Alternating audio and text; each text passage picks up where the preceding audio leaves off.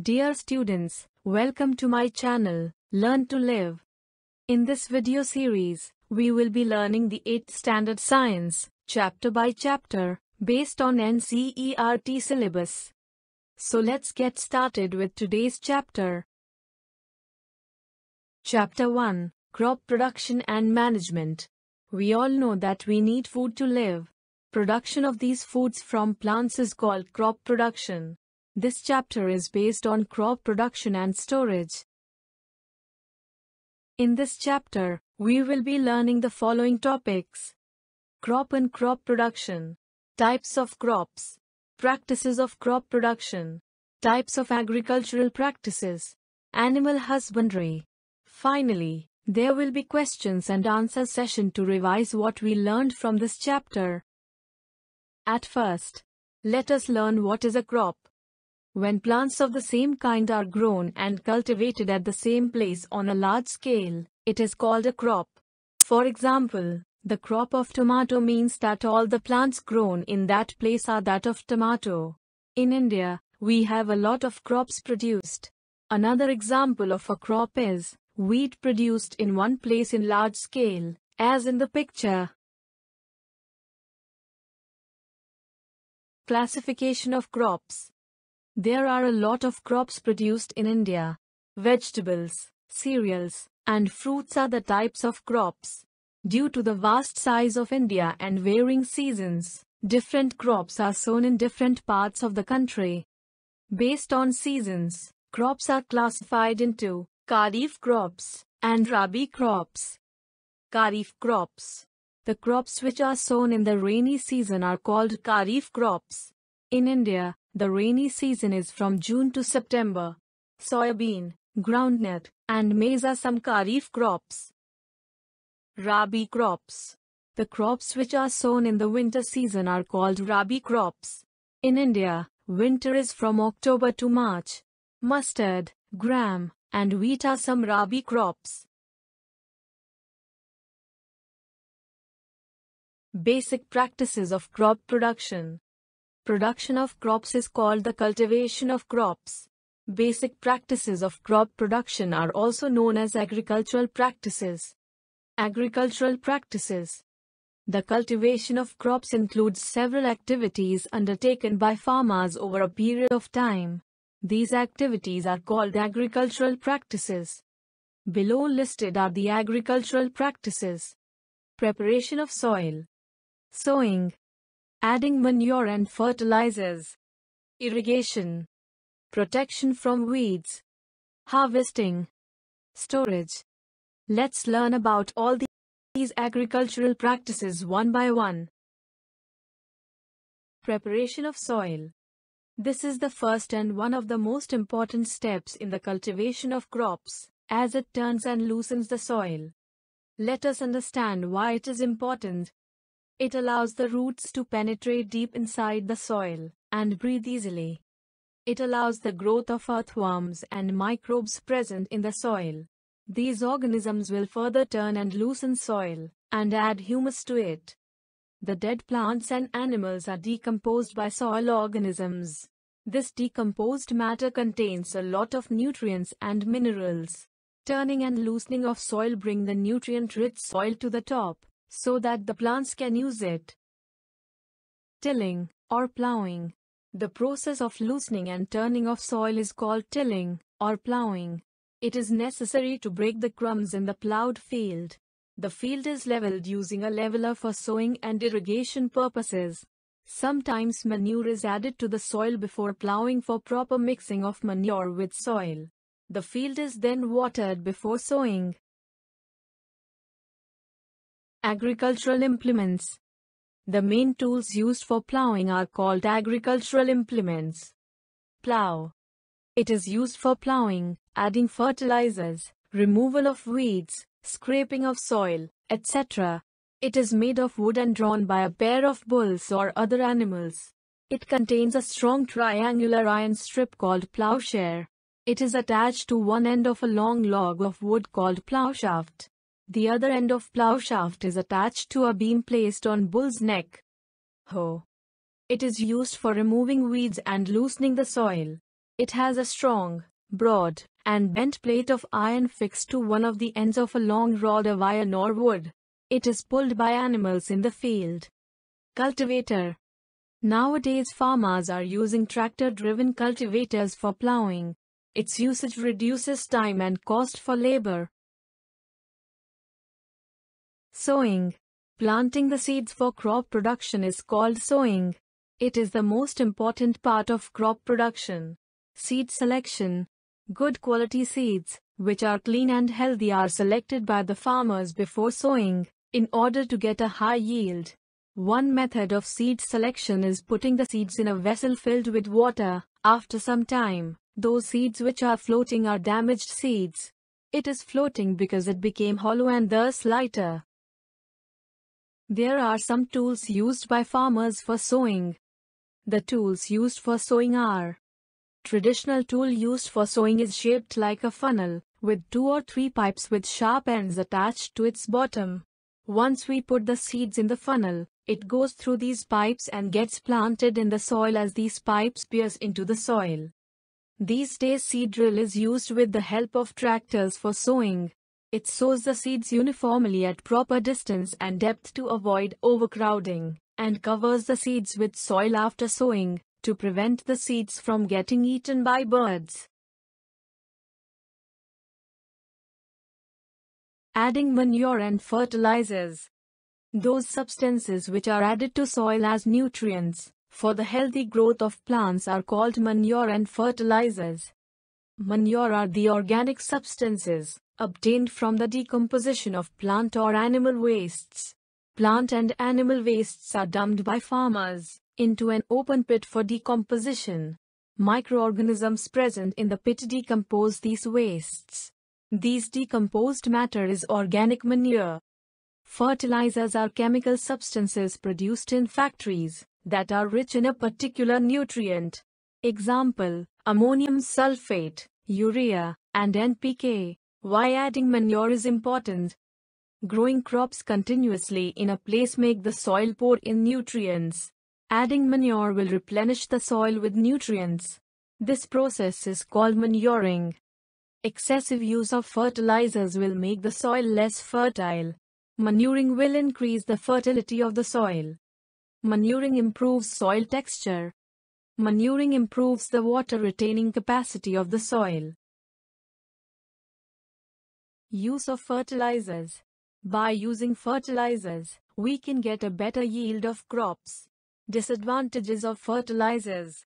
Excessive use of fertilizers makes the soil less fertile. Excessive use of fertilizers reduces the water retaining capacity of the soil. Please check the below table to understand the difference between manure and fertilizers. Pause the video to read the table completely. Advantages of manure over fertilizers. It improves water holding capacity, soil texture, and the number of friendly microbes in the soil. It makes the soil porous and makes the gases exchange easier. Crop rotation. This is another method of replenishing the soil with nutrients. In this method, different crops are grown alternately. Farmers in North India grow legumes in one season and wheat in next season. This helps in replenishing the soil with nitrogen. The rhizobium bacteria, present in the nodules of roots of leguminous plants fix atmospheric nitrogen. Irrigation the supply of water to plants at certain intervals is called irrigation. These intervals vary from crop to crop, soil to soil, and season to season. Below list are the irrigation sources, wells and tube wells, ponds, lakes, and rivers, dams and canals. Irrigation methods are classified into two, as traditional methods of irrigation Modern methods of irrigation. Traditional methods of irrigation. From wells, canals, or lakes, water is lifted and taken to fields using cattle or human labor. Traditional ways of irrigation are moat, chain pump, dhekli, rahat. These methods are considered as cheaper but less effective. Water pumps are generally used for lifting water for this way. These pumps run with electricity, diesel, solar energy or biogas. Modern methods of irrigation. These methods are more effective as it uses water economically. Sprinkler system. In this system, perpendicular pipes with rotating nozzles are connected to the main water pipe. With the help of a pump, water will be allowed to flow under pressure, escapes the nozzles, and sprinkled over the crops as it is like raining. It is very useful in sandy soil and uneven lands. Drip system. In this system, water falls directly at the root position, drop by drop. This system is very effective, and water is not wasted at all. This method can be implemented where water availability is poor. It is considered as the best technique for the irrigation of gardens, trees, and fruit plants. Protection from weeds. The undesirable plants naturally growing in a field, along with the crops are called weeds. The process of removal of weeds is called weeding. Why weeding is necessary? It is necessary because the weeds will compete with the crops for nutrients, water, space, and light, affecting the crop growth. It will be difficult for harvesting if there are weeds, as it will mix with the crops. Some weeds are poisonous for animals and humans. So weeding is necessary. What are weedicides? How it is used? Chemicals that are used to control weeds are called weedicides. Weedicides won't damage the crops. So, it is sprayed all along the crops, but will only kill the weeds. Depending on the requirement, weedicides are diluted with water and sprayed in the fields using a sprayer. These must be sprayed before flowering and seed formation of weed.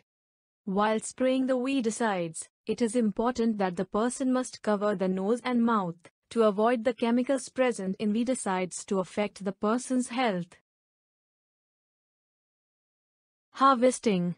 Cutting of crops after it becomes mature is called harvesting. How it is done. The crops are pulled out or cut close to the ground.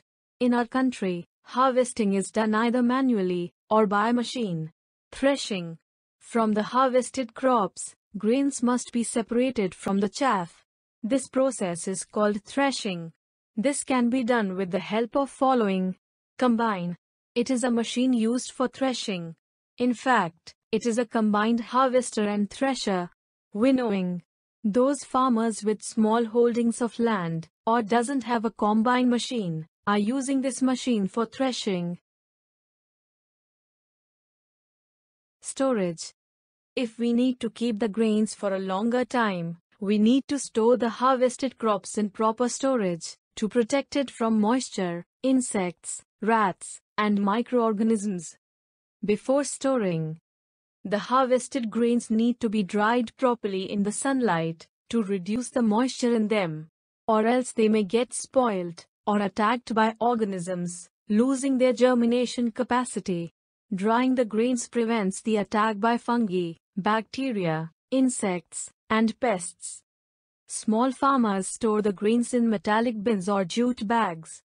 In large scale storage, grains are stored in silos, and granaries to protect it from pests like insects and rats. While storing food grains at home, dried neem leaves are used. Specific chemical treatments are required to protect them from pests and microorganisms for storing large quantities of grains in big godowns. Animal husbandry. The process of crop production involves several steps like selection of seeds, sowing, etc. Likewise, animals reared at home or in farms must be provided with proper food, shelter, and care to get dairy product outputs from them.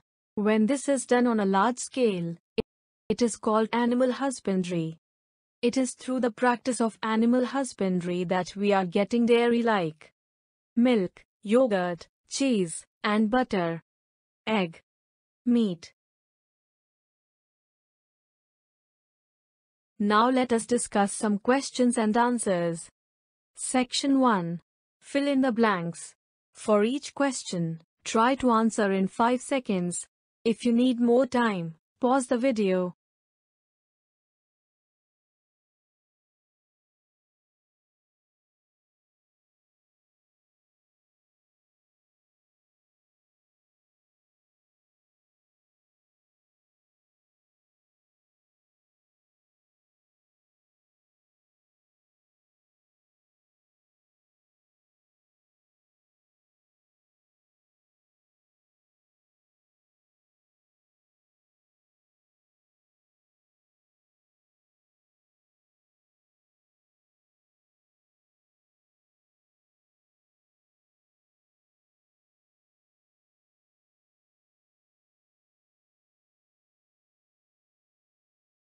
Section 2.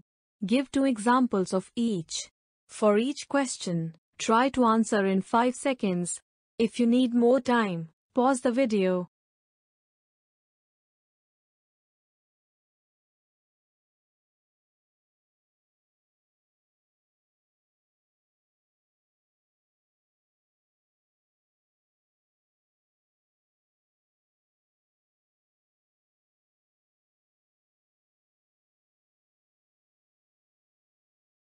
Section 3. Match items in column A with those in column B.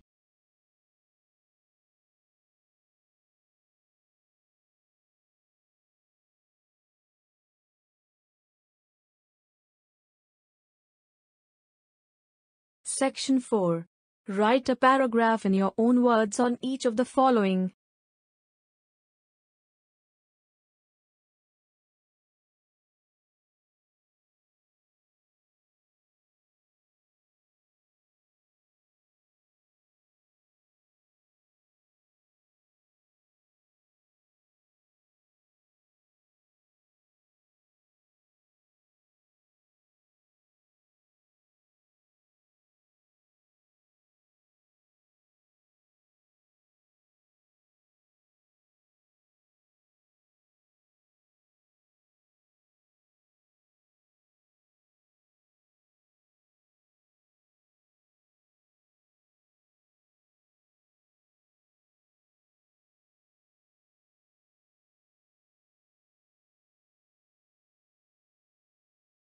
Explain how fertilizers are different from manure.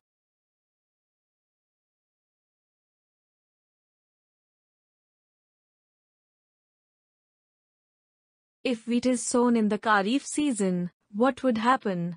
Discuss.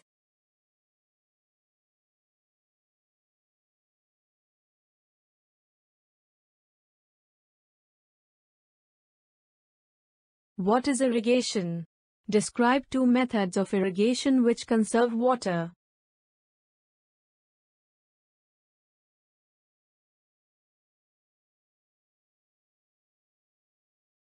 Explain how soil gets affected by the continuous plantation of crops in a field.